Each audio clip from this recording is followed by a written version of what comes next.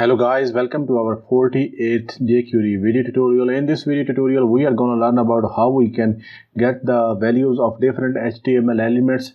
This basically this work requires two videos, two separate tutorials. So this is the part one of the tutorial by which we can use the value function to get the values of our HTML elements. In this first part, we are going to use three types of elements: input field, type text, the second one has type number and the third one is the text area so we will get to we will get their values by using the value function of jQuery. So now let me show you how my file looks like in the browser. So this is how my file looks like in browser.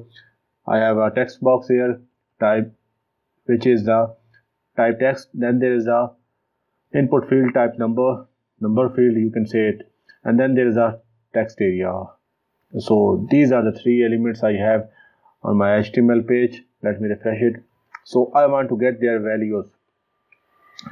Whatever the whatever user will type in in those three elements will become their value so i can get them by using the value function. So i'm working in the click event of our button. So first of all i will try to show the values in an alert box. So i will just simply type alert. And now I will show the values of all three but these values to be bigger so I will use three variables. X1 sorry x1 will store the value of the first item. So I will select that item by using the number sign. Number sign item 1 dot val value function and then there is semicolon. Again I will create a new variable x2 and it will store the value of second item. So number sign item 2 dot value val val function. Then there will be a third variable x3 it will store the value of our third item. So with the number sign item 3 dot val value function from and then the semicolon.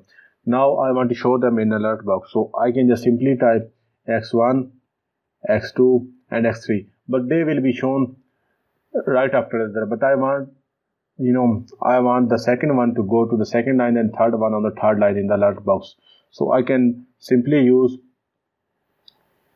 with the double quotes backs uh, slash n and I will put slash n here as well slash n.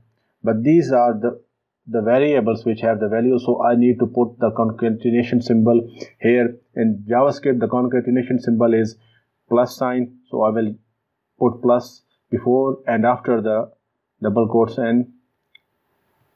So now the value of our first item item 1 will be shown in the alert box on the first line the second value will be shown on the second line the third value Uh, will be shown on the third line in the our alert box. So now let's save this file. Let's go to our web browser. Let's refresh it. And now type some values here. So let's say full name. And then let's say 35 then text area. So i will type just some kind of random text here. So now i will click on this button. Let's see what happened. Now let's click on it.